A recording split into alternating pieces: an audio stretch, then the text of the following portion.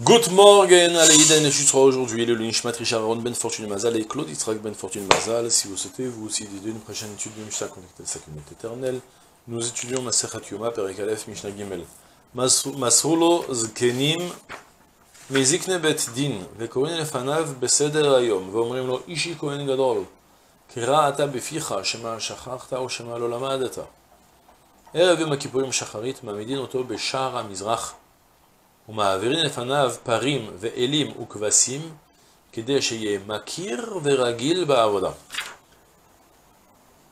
On continue à préciser les entraînements, si on peut dire, du Kohen Gadol durant les 7 jours qui précèdent Yom Kippour. Depuis le Mishnah en on a appris que les 7 jours qui précèdent Yom Kippour, le Kohen Gadol devait se retirer dans une petite chambre qu'il y avait au Beth Amikdash, rester là-bas, ne pas en sortir, et tous les jours s'entraîner, méditer sur ce qu'il allait faire, s'entraîner à faire les bonnes actions durant la Voda Yom Kippour, qui est un rituel assez complexe. Il devait donc, Mishabet, on avait appris qu'il devait faire aussi des corbanotes, aller faire la et pour euh, un petit peu se faire la main. Alors, la Mishnah continue cette fois-ci en disant Masrolo Zkenim, Mizikne Betedim, on transmettait, on lui mettait à disposition des Zkenim, des, sages, des vieux, des sages, Mizikne Bedin, parmi les vieux sages du Betedin, Et tous les jours, durant les sept jours, on lisait devant lui tout le Seder Ayom. On prenait, on prenait la, la paracha de Acharemot, on lui lisait les psukim, on lui expliquait, on lui interprétait, pour qu'il comprenne bien tout le rituel qu'il allait, avoir, qu'il allait avoir à faire. C'est un rituel assez long, assez précis. Donc, du coup, on lui, on, les, les, ces sages-là, lisaient devant lui tous les jours le Sederayom pour le et on lui disait, Ishi Kohen Gadol, plus que ça, on le stimulait même, en lui disant, Ishi Kohen Gadol, Monsieur le Kohen Gadol, Ishi, Ish, c'est un homme, Monsieur, mon homme, Monsieur le Kohen Gadol, euh, Kra atabeficha, lis donc toi-même de ta bouche, lis toi-même le rituel. Ne te contente pas juste d'écouter nous. Une fois qu'on a lu, on te demande de le répéter après nous. Shema de peur que tu aies oublié. Peut-être que tu as oublié depuis l'année dernière, ou pire encore. O Shema Lolamadata, peut-être que tu n'as jamais appris de ta vie. C'est une catastrophe, comment un Kohen Gadol, la Torah nous dit qu'il faut choisir le Kohen Gadol, la Kohen Gadol Mechav. Il devait être le plus grand. Il euh, faut bien comprendre c'est quoi un Kohen Gadol, quoi. C'était le plus grand en noy, en beauté, en classe, en intelligence, en richesse. S'il était pauvre, s'il avait toutes les vertus sauf le, fait d'avoir de l'argent, ses frères, le Kohanim, devaient eux-mêmes donner de leur argent pour, lui, pour lui monter sa situation, pour qu'il ait toutes les vertus possibles, le Kohen Gadol. Ça devait être le grand beau gosse, dans, tous les sens du terme. Et alors quoi Alors quoi? Il y a un Kohen Gadol qui n'a jamais étudié Réponse, comme on a expliqué dans la première Mishnah, oui, malheureusement. À l'époque du deuxième Etamikdash, les Kohanim Idolim, c'était plus ça.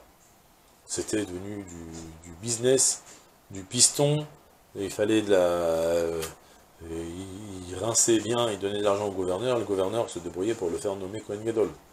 Donc du coup, on se retrouvait devant avec des Kohen Gadol qui savaient euh, difficilement euh, qu'il fallait faire Netil Azanim le matin qu'on se réveille, je ne sais pas exactement, mais en tout cas, d'accord, ils ne connaissaient pas des, notions élémentaires de, la Torah, du judaïsme, de la voda du Kohen Gadol, ça, c'est l'ordre selon lequel il devait faire la voda, c'est sûr qu'il ne le savait pas du tout. Il a voulu être Kohen Gadol sans, même savoir que ça impliquait, mais c'est pas grave. C'est un titre d'honneur, donc du coup, il s'est laissé tenter. Et donc on lui disait, peut-être que tu as jamais appris, donc maintenant on répète après nous, et on lui, apprenait tout le rituel du Kohen Gadol. Et rêve Yom Kippourim Shacharit, la veille de Yom Kippour au matin, alors là, il va y avoir tout un rituel qui va être détaillé encore plus dans la prochaine Mishnah, dans la prochaine Mishnayot, mais on commence déjà dès maintenant, Ma Midin Oto Beshar à Mizrach on l'amenait au char à Mizrach, au, à la porte, au portail de, du Mizrach, de l'Est. Je rappelle, pour ceux qui viennent de commencer Yoma, qui n'ont pas su avec Nushkalim, une notion bien connue, quand on rentre au Beth on est toujours de l'Est vers l'Ouest. Le Kodesh Kodeshim, il est à l'Ouest. Et on entre par la porte de l'Est, le char Nicanor, le portail de Nicanor. On avait appris, on avait parlé dans Shkalim de ces, de, des portes de Nicanor, on le reverra d'ailleurs dans Yoma, dans Yoma aussi, euh, que donc le port de Nicanor, qui était à l'est, et là-bas on, commençait à se diriger vers le Kodesh. On apprendra pourquoi, mais le Shah Mizrach, là-bas, à l'endroit du Shah Mizrach, on apprendra que, là-bas on faisait le Goral, le tirage au sort pour les, animaux du Yom Kippour, ce qui sera le, le Seir la Zazel, le Seir la Shem. Et la Mishnah me dit, pour elle ne me précise pas dans tous ces détails, elle me dit juste, sache que le matin du Yom Kippour, on l'amenait au char à Mizrach, on faisait passer devant lui, on m'a et Fanav, on faisait passer devant lui, parim, des taureaux, elim, des béliers, ou kvasim et des moutons. Les moutons, c'est les petits des béliers, les jeunes béliers. D'accord?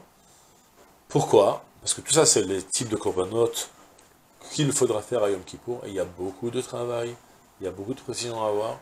Donc du coup, pour bien faire une simulation de tous les travaux qu'il allait, toute la vodote, tous les rituels qu'il allait avoir faire, on lui faisait passer devant lui tous ces animaux pour qu'il dise, ah, je vais commencer par là, je vais continuer par-ci. makir ou veragil ba'avoda, afin qu'il soit, qu'il reconnaisse et qu'il soit habitué, qu'il ait la main, qu'il dise, bon, je commence par le, euh, par les béliers, je, par le taureau, je continue par le, par le bélier, et ainsi de suite, et puis après je vais le prendre, qu'il fasse une simulation un petit peu, pour qu'il soit bien, qu'il se fasse bien, bien la main, pour qu'il qu'il n'ait pas d'hésitation, qu'il puisse faire ça de manière euh, fluide. Et c'est tout pour aujourd'hui, je vous souhaite une journée pleine de Hatzlacha, Kol Salam.